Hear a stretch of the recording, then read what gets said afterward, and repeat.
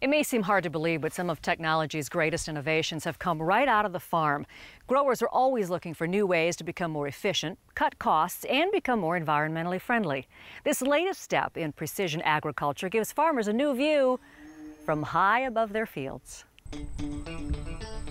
At first glance, it might seem like these guys are simply enjoying a high-flying hobby. In reality, Idaho farmer Robert Blair and University of Washington consultant Dr. Kurt Scudder are involved in what's known as precision agriculture. In this case, using aerial technology to capture video or still photos that can help them assess crop yields and field conditions. A farmer knows his fields. If you can just see a picture of their field, they can gather a lot of information because they've been farming it for so many years. Instead of scouting a field the normal way, walking through or driving a four-wheeler, now we're seeing the whole field and we're being proactive.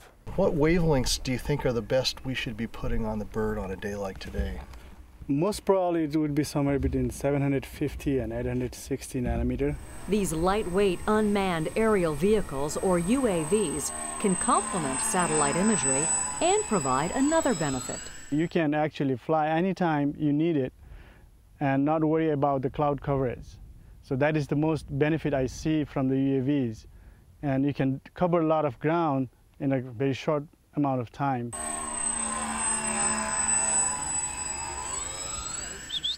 Bennett.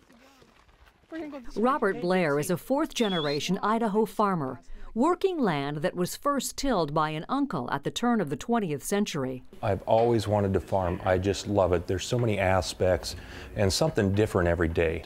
And then along comes technology. It's the new frontier. It's something new to learn. And one thing my dad always told me is, if you don't learn something new every day, it hasn't been a good day. You've got to get the chains, you got to grease it, check the oil. Today, Robert and his family operate a 1,500 acre farm, raising cattle and growing wheat, malt barley, and other crops. Okay, I'm just going to check the voltage on that battery. Okay. UAVs were first developed by the military. Got ailerons, got elevator, got rudder, but Robert and his scientist partners see this technology as important to improving future farming operations. So they've been perfecting an aerial reconnaissance platform with an eye to marketing it worldwide. What I would hope to see is then in say five to 10 years, this is something that is very commonly used and it's no more unusual to see one of these than it would be to see a crop dusting aircraft, which as you can imagine, to farmers of 100 years ago would have been a truly miraculous piece of technology. Okay, clear? Clear.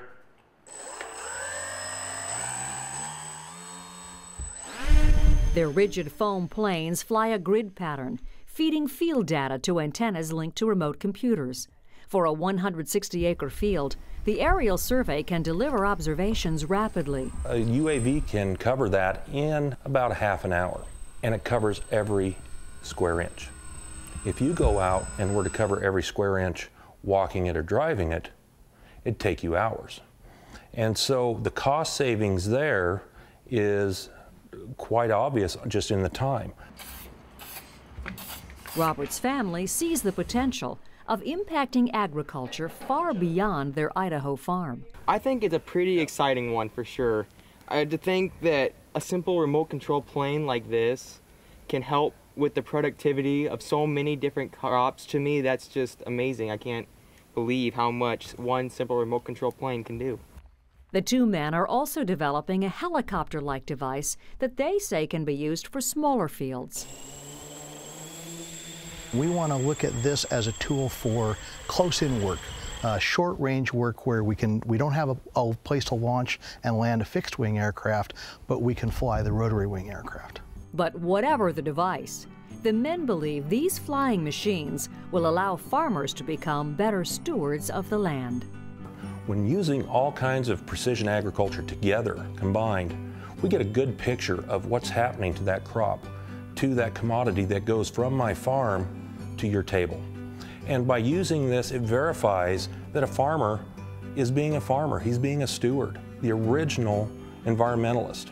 I mean, we're using the technology to not only help our land, but to help future generations be not only successful, but responsible.